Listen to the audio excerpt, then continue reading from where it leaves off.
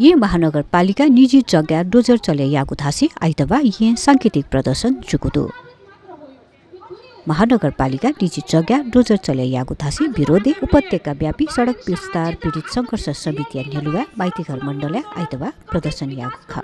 भट्टराईले काठमाडौँमा गैर न्यायिक सडक विस्तारको रूपमा विकासको रूपमा विनाशहरूलाई उठीवास गरेको र त्यसैलाई नै निरन्तरता दिँदै सङ्घर्ष समितिको नाउँमा हामी सङ्गठित भएर मौलिक अधिकारको रूपमा दिएको छ। यति मात्र होइन। आमाहरू अहिले पनि तपाईँहरू नामनगरमा हेर्न सक्नुहुन्छ। कतिपय आमाहरू वृद्धाश्रमको गैर न्यायिक सडक विस्तारले। र यही सडक विस्तारलाई कन्टिन्युटी दिँदै भएको कोही हुन्छ भने उहाँलाई म यहाँ अगाडि आइदिनु। मानेको ज्यादती। टुकुचा टुकुचा भनेको एउटा ऐतिहासिक पनि योगेश मिश्र योगेश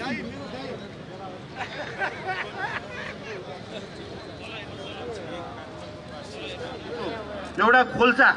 कतैबाट बगेको एउटा ढललाई पनि अर्काएर जबरजस्ती हेर्नुपर्ने। एउटा ग्राउन्ड पेनिट्रेटिङ राडार भन्ने हुन्छ। तपाईँ हामी मध्येका छौँ। तपाईँ हामीले आजकै दिनमा अहिलेबाट हामीले हस्ताक्षर सङ्कलन गरेर समिति कजे सुमन सायमी ए महानगरपालिका प्रमुख बालेन सहायता सचेत या त दबाव स्वरूप प्रदर्शन यानाको थ्याइदिल गर्छ र आफ्नो हैसियत भुलेर आफ्नो दायरा महानगरवासीहरूको सम्पत्ति लुट्ने गरेर अब म व्यक्तिको निजी सम्पत्ति मौलिक हक आज त परिवर्तन हुन्छ र हुनुपर्छ र त्यो व्यक्ति लेवा गुठीका अध्यक्ष शान्त प्रकाश श्रेष्ठज्यूलाई म माइक हस्ता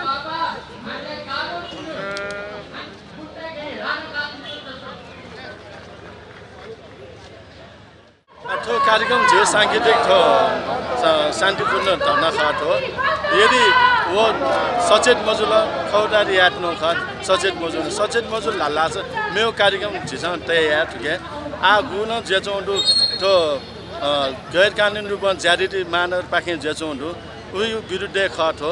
यदि ज्याबले सेनिफो ऊ स्याउ त सुरार मैना मुन छ। जनता चाहिँ ठन चाहिँ झिउटी कानुनी अधिकार त पाए मजो र संवैधानिक अधिकार मजो ढाल्ला छ। थोरै चाहिँ क्षेत्राधिकार नागे जिया चाहिँ कानुन संविधान विपरीत हुन ढाल्ला छ। झे सुङ्गु चुनी मखु घाट हो साङ्केतिक खत आ थुकेन छिट महानद महानद पिता महानद बासी त सुविधा मबियो। कानुनी राज्य प्रत्यापुट मया खसा कने छुची हिगा ढाफै मखो छा राछ जनता एउटै जनभावना मठो लाला छ कने ऊ पद न तोटमा फेरि माली अवस्था भएफो ऊ जनतालाई प्रतिनिधि ज्याउ ख जनतालाई ऊ कारण चाहिँ जनता नवामाल उहाँ ऊ या जनता अधिकार सुनिश्चित यामाल यदि मया ढाल्ला छ ऊ परे छौँ औषधि मरो। उता एउटी छौ सन्देश न जुइट सडक विस्तार नामे लाक्कु पाकु निजी जग्गा डोजर चले घन अध्ययन अनुसन्धान मयासी सरी सुव्यवस्था शङ्कुको थयागु विषय त कया विरोधी नगरका विरोधी पोति कापिस थागुदु अर्काको कम्पाउन्डभित्र छिरेर छिरेर अर्काको निजी सम्पत्तिभित्र छिरेर त्यसरी अर्काको सम्पत्ति नाश गरेर गर्नुपर्ने थिएन। एउटा जिपिआर ग्राउन्ड पेन्ट्रेटिङ राडारबाट तुरन्त पत्ता लाग्न सक्थ्यो।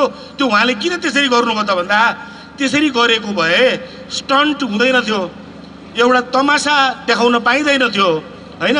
उहाँका केही भरौटे मिडिया साथीहरूका मिडियाका साथीहरूले र बालेनको डोजर बालेनले यस्तो खन्यो बालेनले पत्ता लगायो।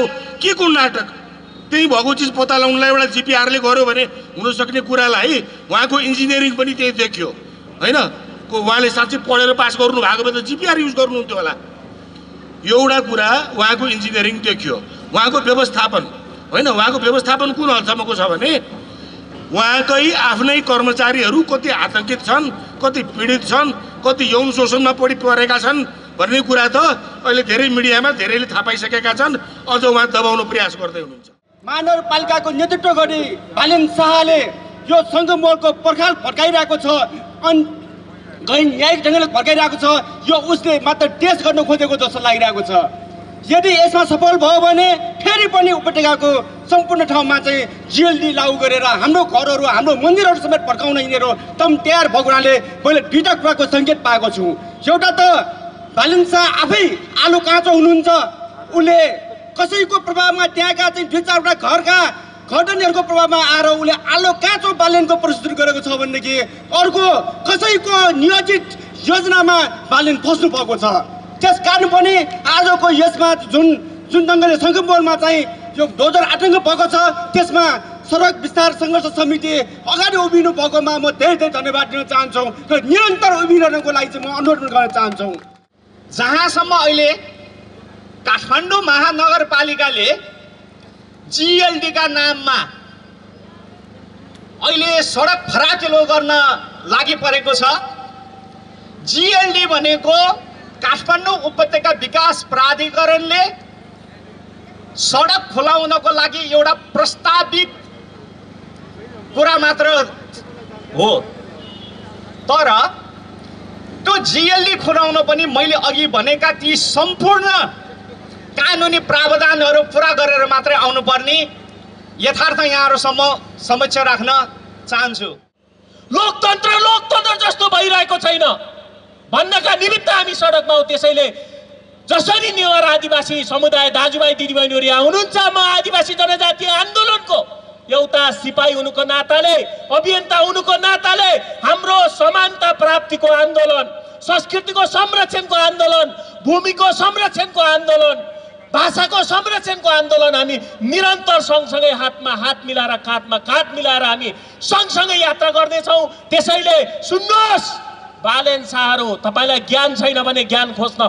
फर्किनुहोस् नेवारको आदिवासी भूमि र संस्कृतिको इतिहासतिर। हेर्नुहोस् तपाईँ अन्डरग्राउन्ड बनाउने के बनाउने नाममा यहाँको भूमिलाई छेद विच्छेद बनाउने र यहाँको मूल्य र मान्यतालाई किल गर्ने मार्न खोज्ने विरुद्ध तत्काल बन्द गर्नुहोस्। अन्यथा यो भन्दा यो एउटा छनक मात्रै हो। तिमीलाई लागेको होला सङ्घ प्रदेश र स्थानीय तहको निर्वाचन पछाडि अब नेवारहरू किन आइरहेका छन्? किन सडकमा आइरहेका छन् भन्दा यही कुराहरू विकास समृद्धि यहाँको रैथाने ज्ञान कला सिपको आधारमा हुन्छ भन्ने सन्देश प्रवाहका निमित्त आइरहेका छन्। नेपाल मण्डलको उपत्यकामा शासन र भाषा हाम्रो संस्कृति हाम्रो भूमि। विभिन्न गरिदिनु हुन म उहाँलाई चाहिँ अनुरोध